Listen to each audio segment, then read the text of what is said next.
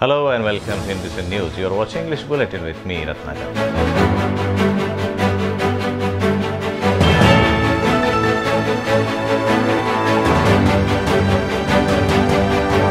The news in detail. The birth anniversary of Ramayana author Maharshi Valmiki, 145th birth anniversary of Sardar Vallabhbhai Patel, the first Home Minister of India, and 36th death anniversary of former Prime Minister Indira Gandhi was observed by the officials and employees of the Nagpur Municipal Corporation on Saturday.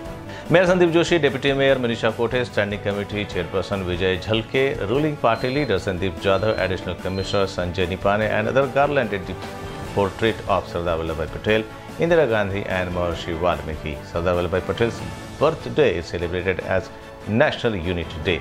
On this occasion, Mayor Sandeep Joshi administered on oath to the office bearers and employees present on the occasion of National Unity Day. Also on occasion of Vigilance Awareness Week, Joshi administered an oath of eradication of corruption to attendants with the view to maintaining transparency in the administration. Filing a case will now become easier with the new e-resources center which has been inaugurated on Saturday at the Nagpur bench of the Bombay High Court by the hands of Chief Justice of India Sharad Bobde. The event was attended by Justice Bhushan Gavai, Chief Justice of Bombay High Court, Dipankar Datta along with other dignitaries. The main e-resource center is planned in the Judicial Official Training Center located in the civil lines area. E-filing, e-hearing of the Supreme and High Courts can be done from this e-resources center. Here are some features of the virtual court.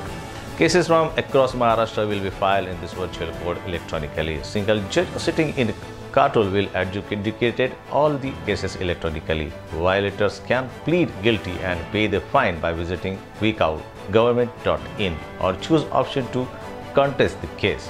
Lockdown in Nagpur. The COVID-19 induced lockdown in Nagpur has been extended till the end of November, aligning it with the state government declaration. Nagpur Municipal Corporation on Friday issued a notification about extending the lockdown. No changes have been made in any of the directives for city specific by Municipal Commissioner Radhakrishnan B, who has adhered to the state line in continuing with easing of restrictions in the lockdown. Since June, the stringent lockdown restrictions are being relaxed in a calibrated manner to balance economic activities and to ensure there is no major spurt in COVID-19 infection. Though most of the sectors have been permitted to restart their activities, some grey areas still remain in directives from local authorities. There is uh, no specific mention about permitting indoor sports activities and hence some confusion still remain about the same in minds of those in the field. Maharashtra Energy Minister Dr. Nitin Raut has expressed his condolence over the demise of Ram Ramrao Maharaj. With the demise of Ram Ramrao Maharaj, a pall of gloom has befallen not only on the members of the Banjara community but also on millions of his followers in Maharashtra and across the country. We are deeply saddened by his demise and share the grief of millions of his followers. Maharashtra has lost great saint and social reformer, Dr. Raut said. He did great work for the upliftment of society in the areas of eradication of superstitions, de-addiction, atrocities against women, dowry and other prevalent social evils. His thought and teachings will always stand me in good stead as a minister and a political leader. The coming generation will never forget his work for the betterment of society and upliftment of the downtrodden.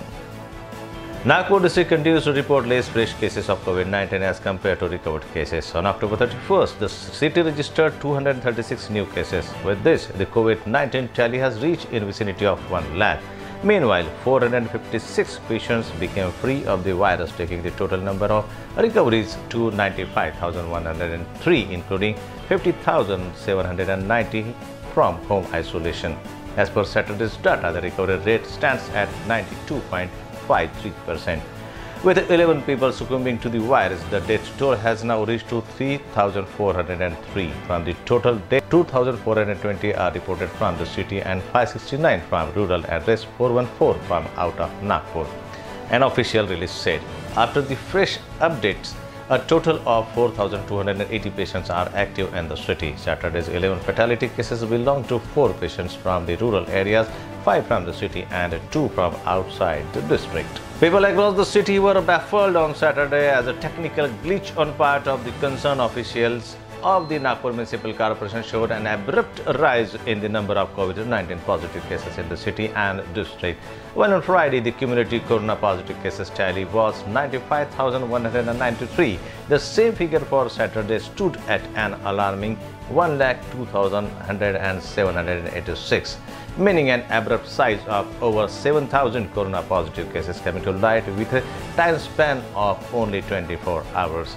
However, other figures like recovery rate, daily and cumulative death toll and the region from which the deceased patients hailed from were accurate. NMC or health department officials have not yet issued a clarification in this regard. Well, that's all from this bulletin. For more updates in and around the city, stay tuned with NBCN News. Till then, Ratnakar says goodbye. Please take very good care of yourself and family.